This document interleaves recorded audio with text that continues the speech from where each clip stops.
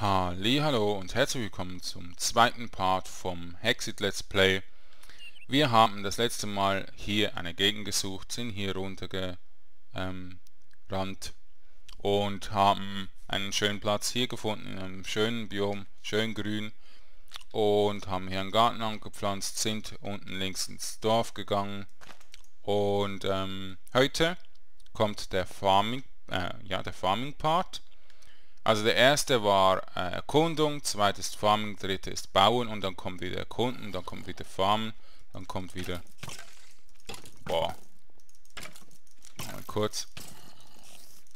Da kommt wieder Bauen, da kommt wieder Erkundung, da kommt wieder Farmen, da kommt wieder ähm, Bauen und so weiter. Also, ähm, damit einfach ganz viel Abwechslung für euch da ist, dass auch ein bisschen geregelt ist und dass ihr auch immer wieder wünschen könnt.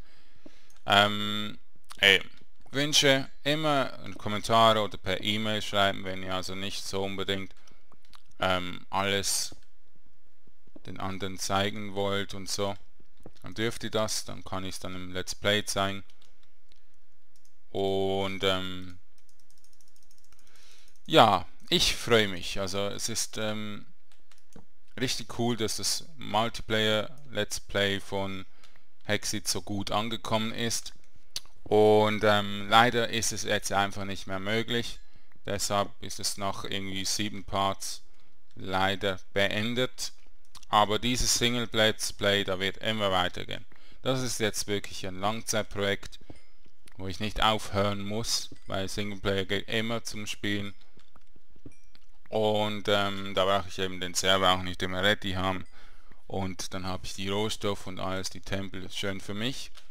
Und ihr dürft natürlich immer zuschauen, immer etwas wünschen, immer etwas vorschlagen, immer ähm, Spaß haben.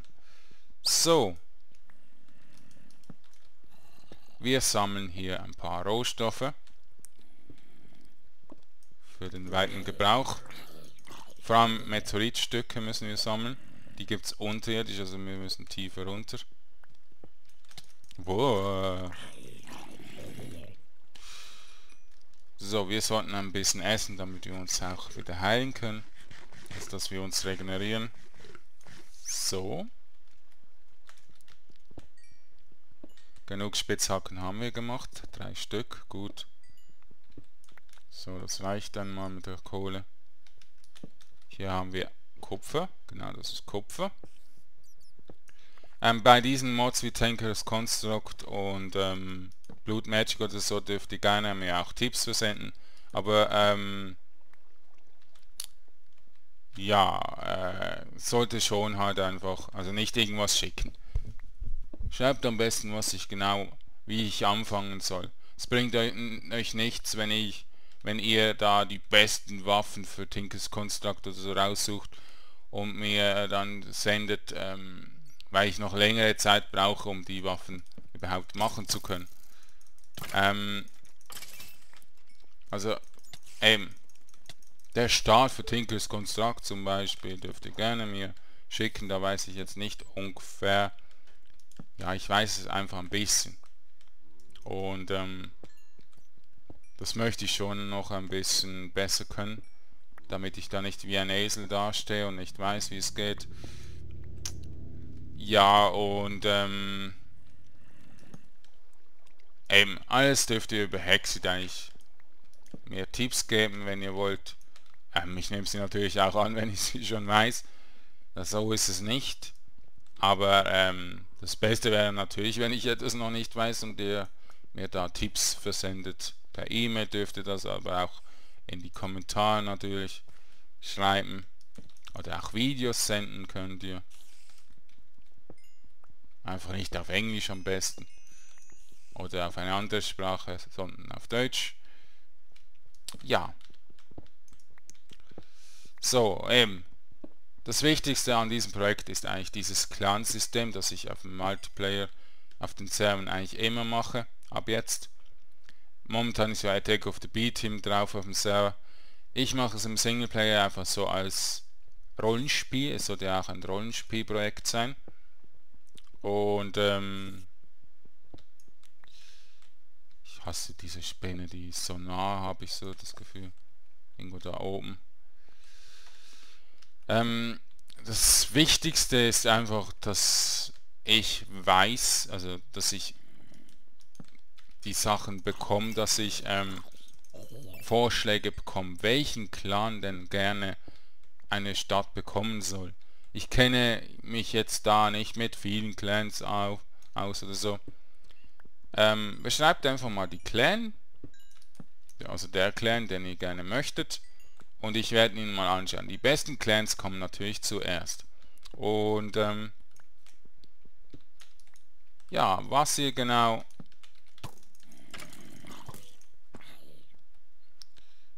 was ihr genau wollt und so, das dürft ihr eben wählen. Also, ja, müsst ihr halt beschreiben. Und ähm, es bringt jetzt nichts, wirklich nichts, wenn ihr Clans einsendet, die eigentlich richtig unlohnenswert zum ähm, Ding sind. Ich schau da mal ab.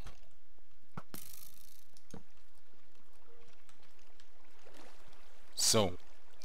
Sorry, ich muss mich kurz konzentrieren, vor allem auch weil hier ein Spinnenspawner ist.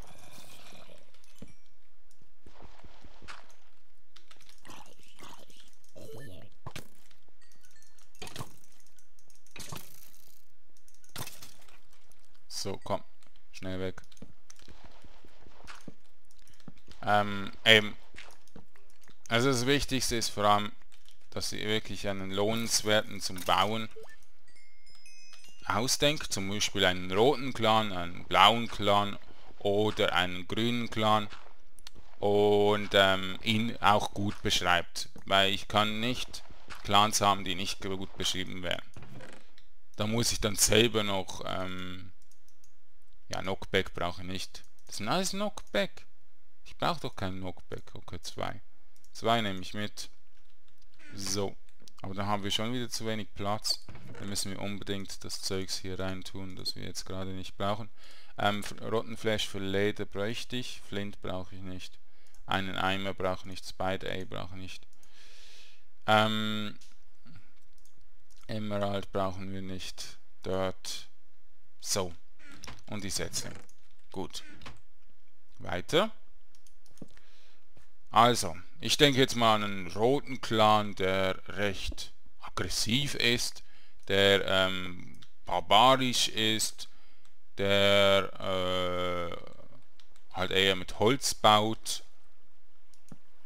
So ist jetzt mal ein Vorschlag, ein Beispiel, muss nicht sein, also jemand kann auch den roten Clan anders machen oder so oder einfach ein paar ähm, Verbesserungsvorschläge für den Clan zu machen, bevor man ihn, also ich ihn dann recht fortgeschritten schon gebaut habe.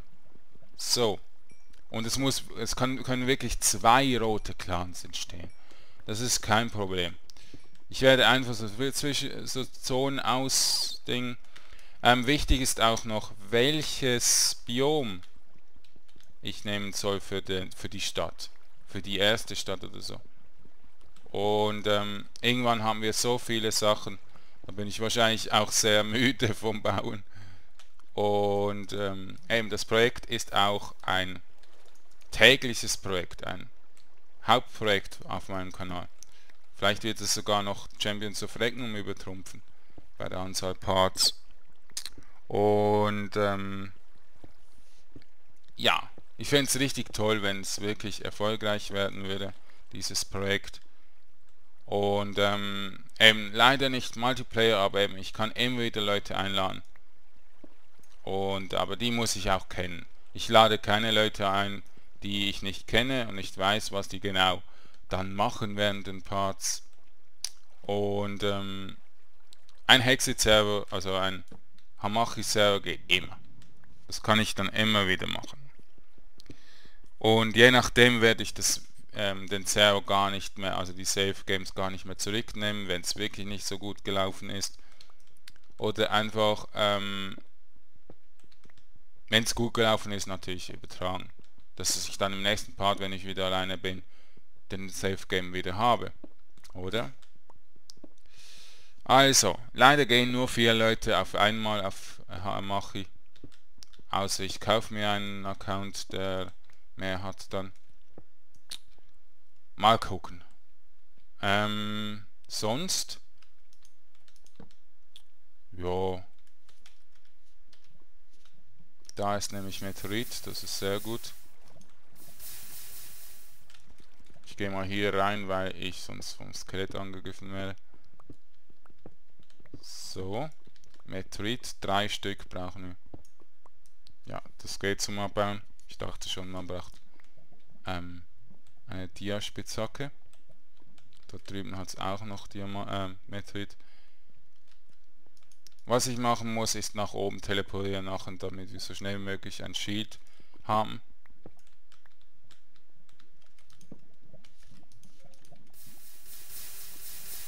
Er sieht mich nicht.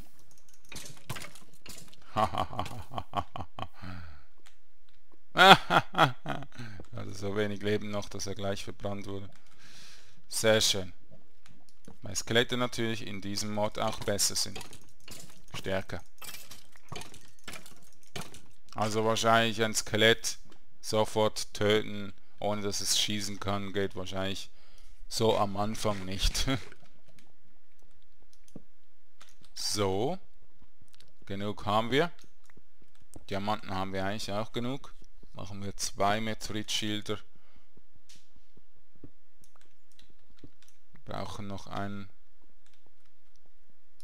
Diamanten haben wir hier auch nochmals.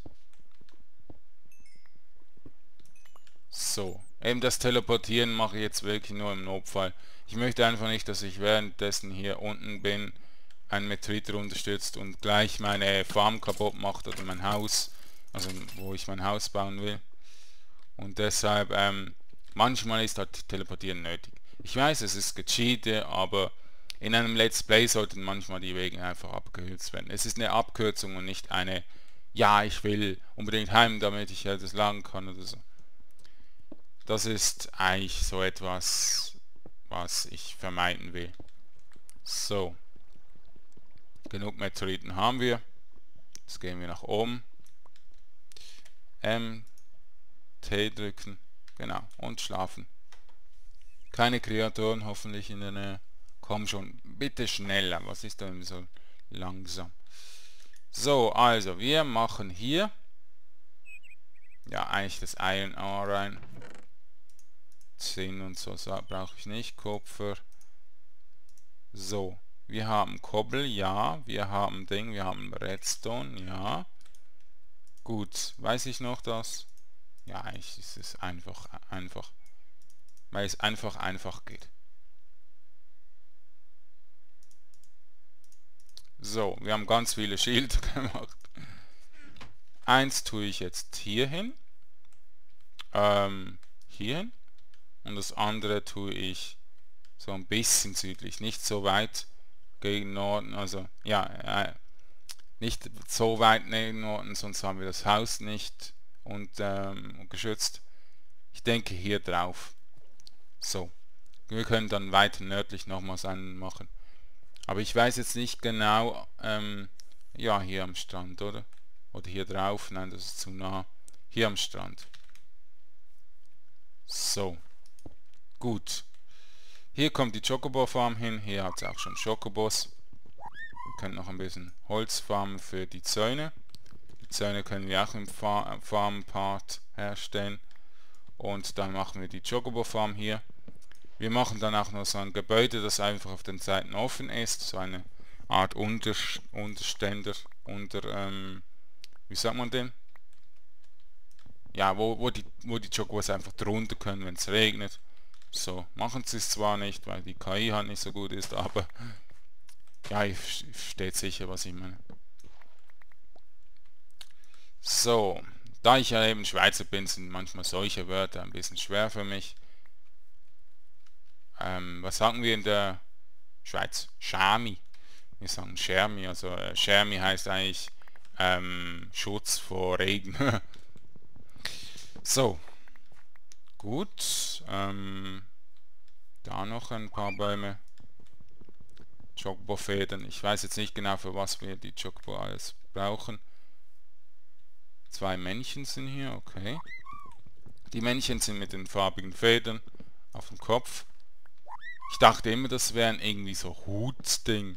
Also das, dass es einfach so eine Art Band ist oder so. Aber das sind wirklich Fäden, bunte Fäden. Die Männchen haben wirklich bunte Federn am Kopf. Wie ja manche Vögel halt auch haben. Und das finde ich cool gemacht. Also genug Chocobos haben wir hier. Hier haben wir auch einen Busch, da können wir auch noch kurz fahren. Das ist ein Weibchen, sehr gut. Da haben wir ein Weibchen und zwei Männchen.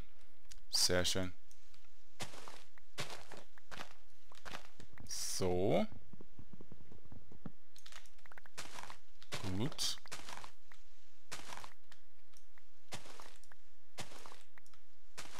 So. Also, Besenbusch bauen wir im Süden an.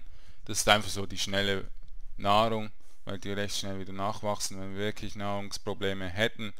Aber ich bin sowieso immer eine gute Farm, also ich baue eigentlich immer sehr gut an. So, was ich noch machen will, sind die Bäume auf dem Berg hier, auf dem Hügel. Ich möchte unten dann diese Höhle lassen, also diesen Durchgang und hier noch ein bisschen verzieren und ähm, dieser Berg sieht auch cool drüben aus. Da könnten wir so einen da können wir den Turm machen oder so. Also mal kurz schauen. Hier haben wir wenig Platz. Dort drüben haben wir länglich. Wir könnten so ein Langhaus bauen. Oder wir könnten dort drüben das Haus bauen. Und hier könnten wir das Lager bauen. Machen wir ein Lagerhaus hier oben. Genau.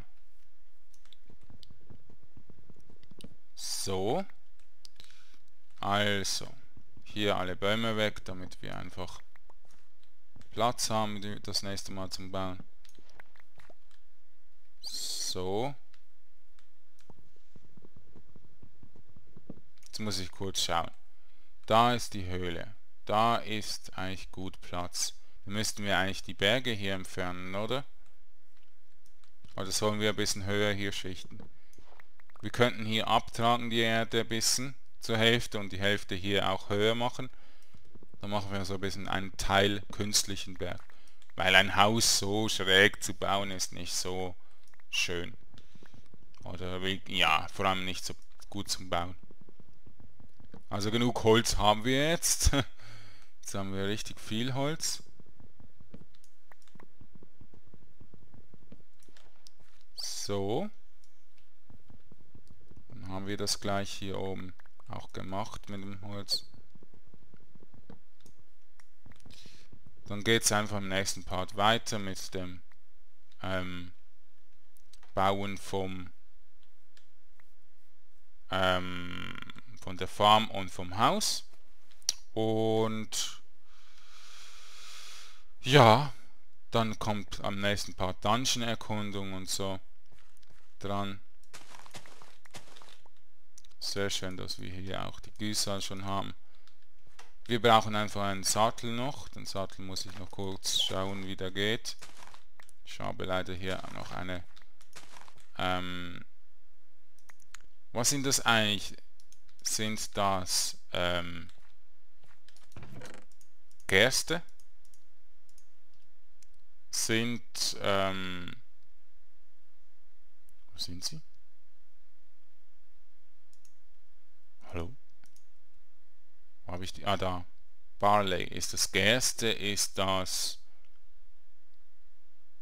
Ich weiß nicht. Was, ähm, was gibt es eigentlich noch? Ähm, Gerste und Hafer. Ist es Hafer?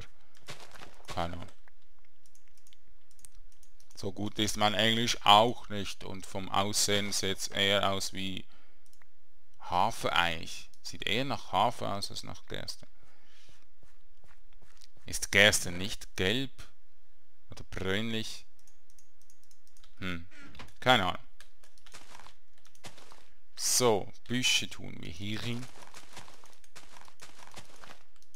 Gut, sehr gut. Ähm, der Baum noch fehlen, dann haben wir vielleicht mehr Setzlinge. Drei Setzlinge, sehr gut. Ich möchte unbedingt das dunkle Holz auch verwenden für das Lagerhaus aber nur in Rohform, nicht in Bretter. In Bretter möchte ich gerne eigentlich das Birkenholz verwenden, Aber das, ähm, ja, das haben wir hier nicht. Ich muss mal kurz schauen. Wir gehen noch kurz nach Süden. Wir haben noch ein bisschen Zeit für diesen Part. Das kann auch ein längerer Part sein. Hier hätten wir auch noch ein paar Bären. Das Pferd, das wieder... Oh, tut mir leid, dass es so laut ist, aber verhinten kann ich das irgendwie nicht.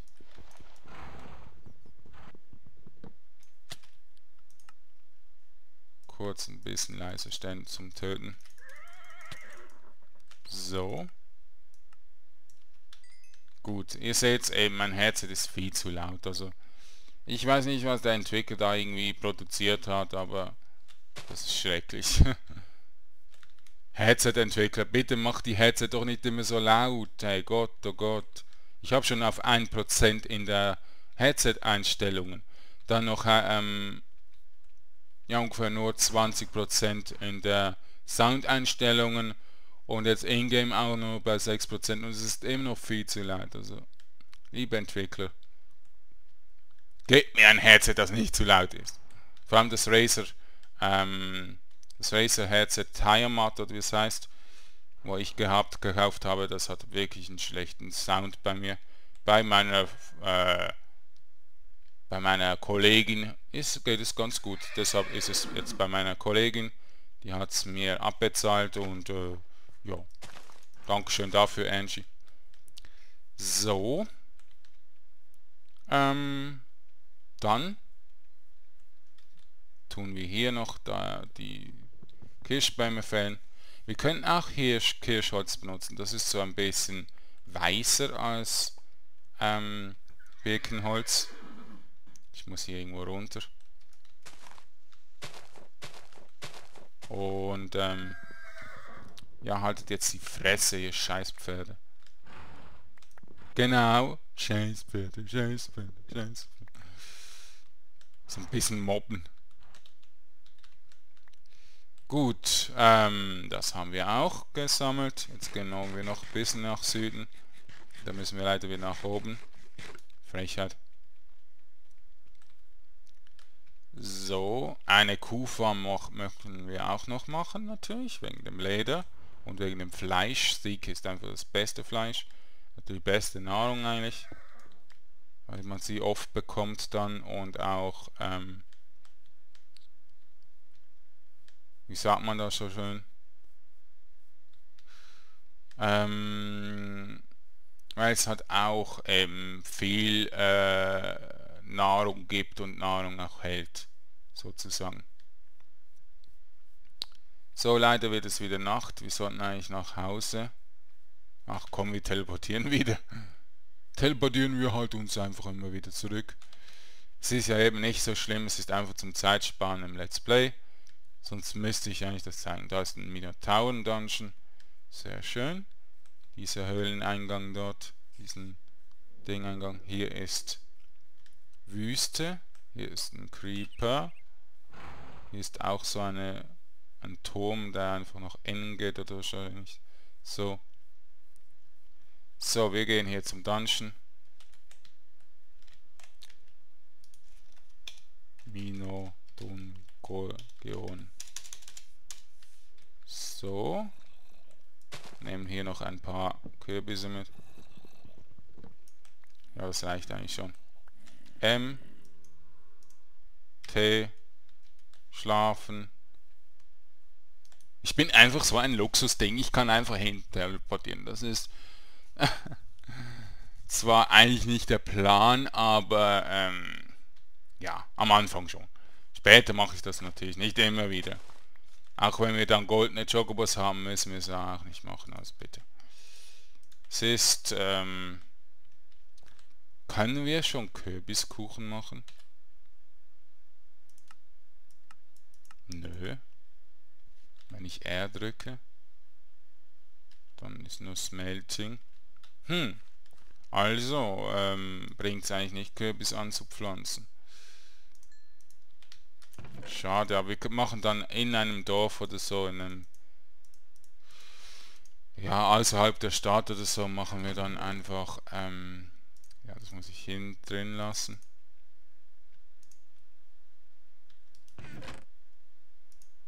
Ähm, mache ich dann einfach so ein Feld, ja, wie ihr ähm, kennt von Halloween oder so. Schönes Kürbisfeld. Und ähm, so ein Halloween-Clan könnte zum Beispiel auch gemacht werden.